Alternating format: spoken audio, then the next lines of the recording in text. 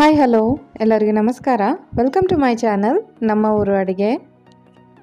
ಇವತ್ತು ನಮ್ಮ ಚಾನಲ್ನಲ್ಲಿ ಸಿಂಪಲ್ ಆಗಿ ಹಾಗೆ ಮಕ್ಕಳಿಗೆಲ್ಲ ತುಂಬ ಇಷ್ಟ ಆಗಿರೋವಂಥ ಪಿಜ್ಜಾ ರೆಸಿಪಿನ ಮಾಡ್ತಾ ಇದ್ದೀವಿ. ನಾವು ಇವತ್ತು ಪಿಜ್ಜಾನ ಬ್ರೆಡ್ನಿಂದ ಮಾಡಿ ತೋರಿಸ್ತಾ ಇದ್ದೀವಿ. ಇದು ತುಂಬ ಈಸಿಯಾಗಿರುತ್ತೆ ಹಾಗೆ ತುಂಬಾ ಟೇಸ್ಟಿಯಾಗಿಯೂ ಇರುತ್ತೆ.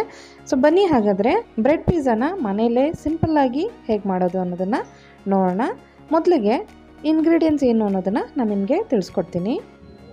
ಒಂದು ದೊಡ್ಡ ಈರುಳ್ಳಿ ಸಣ್ಣದಾಗಿ ಕಟ್ ಮಾಡಿ ಇಟ್ಕೊಂಡಿದ್ದೀನಿ. ಹಾಗೆ ಒಂದು ಟೊಮೆಟೊ, ಹಾಗೆ ಒಂದು ಕ್ಯಾಪ್ಸಿಕಮ್ ಇದು ಮೂರನ್ನು ಸಣ್ಣದಾಗಿ ಹೆಚ್ಚಿಟ್ಕೊಂಡಿದ್ದೀನಿ. ಸ್ವೀಟ್ ಕಾರ್ನ ಬೇಯಿಸಿಟ್ಕೊಂಡಿದ್ದೀನಿ. ಸ್ವಲ್ಪ ಟೊಮೆಟೊ ಕೆಚಪ್ ತೊಗೊಂಡಿದ್ದೀನಿ. ಚೀಸ್ ತೊಗೊಂಡಿದ್ದೀನಿ. ಹಾಗೆ ಬಟರ್ನು ಸಹ ನಾನು ತೊಗೊಂಡಿದ್ದೀನಿ. ಇದಕ್ಕೆ ಆರಿಗ್ಯಾನೋ ಸ್ವಲ್ಪ ಚಿಲ್ಲಿ ಫ್ಲೇಕ್ಸ್ ಸ್ವಲ್ಪ, ಕಾಳು ಮೆಣಸಿನ ಪುಡಿ, ಹಾಗೆ ಚಾಟ್ ಮಸಾಲೆ ಇಷ್ಟು ಮಸಾಲ ಐಟಮ್ಸ್ನ ತೊಗೊಂಡಿದ್ದೀನಿ. ಪಿಜ್ಜಾ ಮಾಡೋದಕ್ಕೆ ನಾನು ನನ್ನ ಹತ್ರ ಸ್ವೀಟ್ ಬ್ರೆಡ್ ಇತ್ತು, ಅದನ್ನೇ ಯೂಸ್ ಮಾಡಿದ್ದೀನಿ. ಇನ್ ಕೇಸ್ ನಿಮ್ಮ ಹತ್ರ ಬ್ರೌನ್ ಬ್ರೆಡ್ ಇದ್ದರೆ ಅದನ್ನೇ ನೀವು ಯೂಸ್ ಮಾಡ್ಬೋದು. ಬನ್ನಿ ಈಗ ಮಾಡೋಕ್ಕೆ ಶುರು ಮಾಡ್ಕೊಳ್ಳೋಣ. ಮೊದಲಿಗೆ ಒಂದು ಬಟ್ಲಲ್ಲಿ ನಾನು ಕಟ್ ಮಾಡಿ ರೆಡಿ ಮಾಡಿ ಇಟ್ಕೊಂಡಿರೋಂಥ ತರಕಾರಿ. ಮೊದಲಿಗೆ ಕ್ಯಾಪ್ಸಿಕಮ್ ಹಾಕ್ಕೊಳ್ತಾ ಇದ್ದೀನಿ, ಸಣ್ಣದಾಗಿ ಹೆಚ್ಚಿಟ್ಕೊಂಡಿದ್ದೀನಿ ಅದನ್ನು. ಹಾಗೆ ಟೊಮೆಟೊ ಕಟ್ ಮಾಡಿ ಇಟ್ಕೊಂಡಿದ್ದೆ, ಅದನ್ನು ಸಹ ಹಾಕೋತಾ ಇದ್ದೀನಿ. ನಂತರ ಕಟ್ ಮಾಡಿರೋಂಥ ಈರುಳ್ಳಿ ಅದನ್ನು ಸೇರಿಸ್ಕೊತಾ ಇದ್ದೀನಿ. ಇದ್ರ ಜೊತೆಗೆ ನಾನು ಸ್ವೀಟ್ ಕಾರ್ನ್ನ ಬೇಯಿಸಿಟ್ಕೊಂಡಿದ್ದೆ ಅದನ್ನು ಸೇರಿಸ್ಕೊಂಡಿದ್ದೀನಿ. ಇದನ್ನು ಸುಮ್ಮನೆ ಒಂದು ಸತಿ ಸುಮ್ಮನೆ ಹಾಗೆ ಮಿಕ್ಸ್ ಮಾಡ್ಕೊಳ್ಳಿ. ಈ ರೀತಿ ಸಖತ್ತಾಗಿ ಕಲರ್ಫುಲ್ಲಾಗಿದೆ ಇದಕ್ಕೆ ಎರಡು ಸ್ಪೂನ್ ಆಗುವಷ್ಟು ಕುಕ್ಕಿಂಗ್ ಆಯಿಲ್ ಯಾವುದೇ ಆಯಿಲ್ ಬೇಕಾದರೂ ನೀವು ಯೂಸ್ ಮಾಡ್ಬೋದು. ಹಾಕಿ ನೀಟಾಗಿ ಇದನ್ನು ಮಿಕ್ಸ್ ಮಾಡಿ. ಯಾಕೆಂದರೆ ನಾವು ಇದಕ್ಕೆ ಪೌಡರೆಲ್ಲ ಆ್ಯಡ್ ಮಾಡ್ತೀವಿ. ಅದಕ್ಕೆ ಮಿಕ್ಸ್ ಆಗಬೇಕು ಚೆನ್ನಾಗಿ. ಅದಕ್ಕೆ ನಂತರ ರುಚಿಗೆ ತಕ್ಕಷ್ಟು ಉಪ್ಪನ್ನು ಹಾಕ್ಕೊಳ್ತಾ ಇದ್ದೀವಿ. ಹಾಗೆ ಚಿಲ್ಲಿ ಫ್ಲೇಕ್ಸು ಸ್ವಲ್ಪ ಆರಿಗ್ಯಾನೋ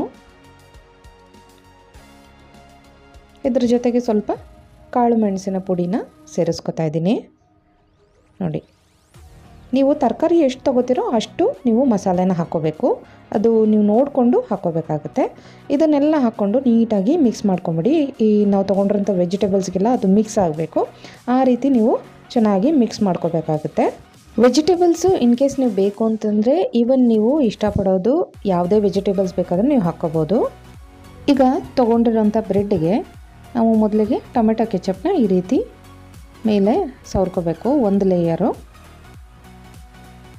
ನಂತರ ಇದನ್ನು ಸವರ್ಕೊಂಡಾದಮೇಲೆ ನಾವು ಆಲ್ರೆಡಿ ಸ್ಟಫಿಂಗ್ ರೆಡಿ ಮಾಡ್ಕೊಂಡಿದ್ದೀವಲ್ಲ, ಅದನ್ನು ಈ ರೀತಿ ಮೇಲೆ ಹಾಕಬೇಕು. ಸ್ಟಫಿಂಗ್ ಎಲ್ಲ ಫಿಲ್ ಆದಮೇಲೆ ಕೊನೆಯಲ್ಲಿ ನಾವು ಚಾಟ್ ಮಸಾಲಾನ ಈ ರೀತಿ ಸ್ಪ್ರೆಡ್ ಮಾಡ್ಕೋಬೇಕಾಗುತ್ತೆ. ಈಗ ನಾನು ಸ್ಟವ್ ಮೇಲೆ ಒಂದು ಹೆಂಚಿಟ್ಕೊಂಡಿದ್ದೀನಿ ಇದಕ್ಕೆ ಸ್ವಲ್ಪ ಬೆಣ್ಣೆನ ಹಾಕಿ ಈ ರೀತಿ ಕರಗಿಸಿದ್ದೀನಿ. ಈಗ ನೀಟಾಗಿ ಬೆಣ್ಣೆ ಕರಗಿದೆ. ಈಗ ನಾವು ರೆಡಿ ಮಾಡಿರೋ ಅಂಥ ಬ್ರೆಡ್ನ ದೋಸೆ ಹೆಂಚು ಮೇಲೆ ಇಟ್ಕೊಳ್ಳೋಣ. ನೀವು ಸ್ಟವ್ನ ಲೋ ಫ್ಲೇಮಲ್ಲಿ ಇಟ್ ಇಲ್ಲ ಅಂತಂದರೆ ಬ್ರೆಡ್ ಎಲ್ಲ ಸೀದೋಗುತ್ತೆ. ಸೊ ಅದಕ್ಕೆ ಲೋ ಫ್ಲೇಮಲ್ಲೇ ಇಟ್ಕೊಳ್ಳಿ. ಸೊ ಈ ರೀತಿ ಇಟ್ಟ ಮೇಲೆ ನೀವು ಇದ್ರ ಮೇಲೆ ಚೀಸ್ನ ಹಾಕಬೇಕು. ನಾನು ಚೀಸ್ ಲೇಯರ್ಸ್ ಇತ್ತು ನಾನು ಹೀಗೆ ಹಾಕ್ತಾಯಿದ್ದೀನಿ ಇನ್ ಕೇಸ್ ನೀವು ಗ್ರೇಟ್ ಮಾಡ್ಕೋಬೇಕು ಅಂದರೆ ನೀವು ಅದನ್ನು ತುರ್ಚಿ ಸಹ ಹಾಕೋಬೋದು. ಅದು ಸಹ ಚೆನ್ನಾಗಿರುತ್ತೆ.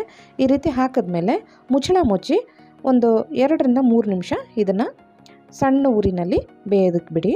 ಒಂದು ಎರಡರಿಂದ ಮೂರು ನಿಮಿಷ ಬಿಟ್ಟರೆ ಸಾಕು. ನೀಟಾಗಿ ಪಿಜ್ಜಾ ಬ್ರೆಡ್ ರೆಡಿ ಆಗುತ್ತೆ. ಸೊ ನಿಮಗೆ ಮೂರು ನಿಮಿಷ ಆದಮೇಲೆ ತೋರಿಸ್ತೀನಿ ಯಾವ ರೀತಿ ರೆಡಿ ಆಗಿದೆ ಅಂತ. ನೋಡೋದ್ರಲ್ಲ ಫ್ರೆಂಡ್ಸ್ ನಮ್ಮ ಸೂಪರ್ ಆಗಿರೋಂಥ ಟೇಸ್ಟಿಯಾಗಿರೋಂಥ ಬ್ರೆಡ್ ಪಿಜ್ಜಾ ರೆಡಿಯಾಗಿದೆ ನೋಡ್ತಾ ಇದ್ದೀರಲ್ಲ? ಇದನ್ನು ನೀವು ತುಂಬ ಕ್ವಿಕ್ಕಾಗಿ ಅಂದರೆ ಒಂದು ಹತ್ತು ನಿಮಿಷದಲ್ಲೇ ಈ ಪಿಜ್ಜಾನ ನೀವು ರೆಡಿ ಮಾಡಿಕೊಡ್ಬೋದು. ಹಾಗೆ ತುಂಬ ಟೇಸ್ಟಿಯಾಗೂ ಇರುತ್ತೆ. ನಿಮ್ಮ ಹತ್ರ ವೆಜಿಟೇಬಲ್ಸ್ ಇದ್ದರೆ ಸಾಕು. ಮನೇಲಿ ಯಾವ ವೆಜಿಟೇಬಲ್ಸ್ ಇದೆಯೋ ಅದೇ ವೆಜಿಟೇಬಲ್ಸಲ್ಲಿ ನೀವು ಇದನ್ನು ಮಾಡ್ಬೋದು. ಫ್ರೆಂಡ್ಸ್ ನೋಡಿದ್ರಲ್ಲ ಈಸಿಯಾಗಿರೋಂಥ ಬ್ರೆಡ್ ಪಿಜ್ಜಾನ ಮನೆಯಲ್ಲೇ ವಿತೌಟ್ ಓವನ್ ಹೇಗೆ ಮಾಡೋದು ಅಂತ ತೋರಿಸ್ಕೊಟ್ಟಿದ್ದೀನಿ. ಈ ವಿಡಿಯೋ ನಿಮಗೆ ಇಷ್ಟ ಆಗಿದೆ ಅಂದ್ಕೊಳ್ತೀನಿ ಇಷ್ಟ ಆಗಿದರೆ ನಮ್ಮ ಚಾನಲ್ ಸಬ್ಸ್ಕ್ರೈಬ್ ಮಾಡ್ಕೊಳ್ಳಿ ಲೈಕ್ ಮಾಡಿ, ಹಾಗೆ ನಿಮ್ಮ ಫ್ಯಾಮಿಲಿ ಮತ್ತು ಫ್ರೆಂಡ್ಸ್ ಜೊತೆ ಶೇರ್ ಮಾಡಿ. ಬೇರೊಂದು ಒಳ್ಳೆ ರೆಸಿಪಿ ಜೊತೆ ಮತ್ತೆ ಭೇಟಿಯಾಗೋಣ. ಅಲ್ಲಿವರೆಗೂ ಟೇಕ್ ಕೇರ್ ಬಾಯ್